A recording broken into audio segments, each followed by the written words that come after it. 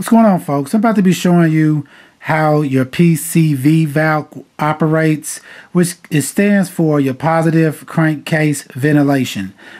This is actually a PCV valve that I actually opened up so you can see what's inside of it.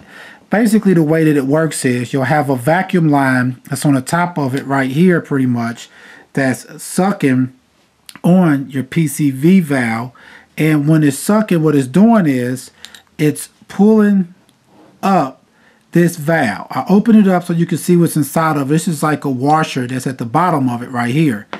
And right on top of that is this right here, which is actually what closes and opens your PCV valve. This right here has a spring on it. As you can see, it can come apart. There's a spring that's on top of this.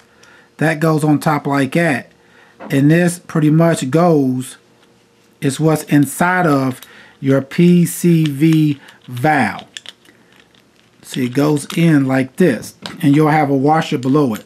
Also, this is what people are doing a lot of times when they're testing the PCV valve by shaking it to see if it's making a noise.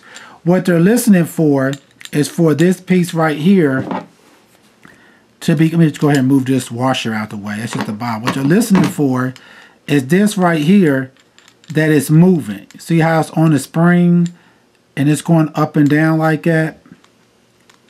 Get a better angle. Yeah, see how it's on the spring and it's going up and down that way. That's what they're listening for to try to see if the PCV valve is operating correctly. But what can happen sometimes on these valves is either it can get stuck open to where it's stuck like this where it's not this the bottom of it's called the seat pretty much. So what's supposed to happen when there's no vacuum on it it's supposed to come back down and set in the seat like that pretty much where it's down at the bottom. And when you put a vacuum on the top of your PCV valve it sucks it open like that to where now the gases that's in your crankcase can be sucked up into it and into your hose itself. It been it then taking it where it's supposed to go at. So the two things that happen a lot of time is it could be stuck open like this to where it's not closing correctly, which is a problem, or it can be stuck closed like this to where it's not opening no more. So even though you have your vacuum on top of your PCV valve, it's not opening correctly. So therefore it's not sucking the gases up the way it's supposed to, which can lead to multiple problems with the way your vehicle runs. So this piece right here normally is what the problem is. Is this right here is either stuck open or it's stuck closed. And as you can see, if you look inside of your PCV valve, pretty much it's nothing in it. It's just a, a shell now. This piece right here is actually what is the valve that opens and closes with the spring that's on it.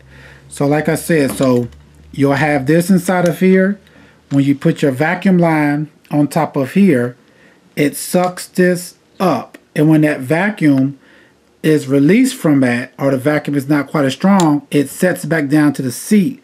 It makes like a flush, uh, a flush connection at the bottom pretty much to where it'll set down and there your PCV valve will be closed. I would say if you was to take yours out and you look at it, it looks really greasy and old, it's probably best just to go ahead and replace it and get you another one because these valves are pretty cheap. They run anywhere between, I would say, three and eight dollars pretty much for most vehicles. But if your PCV valve is bad, it can lead to a lot of different problems. Rough idling, even cause your vehicle to shut off.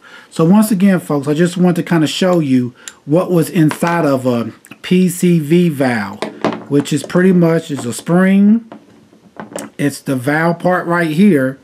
And then you have like a little washer that's at the actual bottom of it. And like I said before, this actually is what people are looking for, listening for when they're shaking it. A lot of time people will try to see if the PCV valve is actually well are actually working rather and they'll just be shaking it and all they're listening for is a sound like that when they're shaking it to see if this valve is actually moving inside of it like it's supposed to. Alright folks, please check out the other videos and please subscribe. Thanks.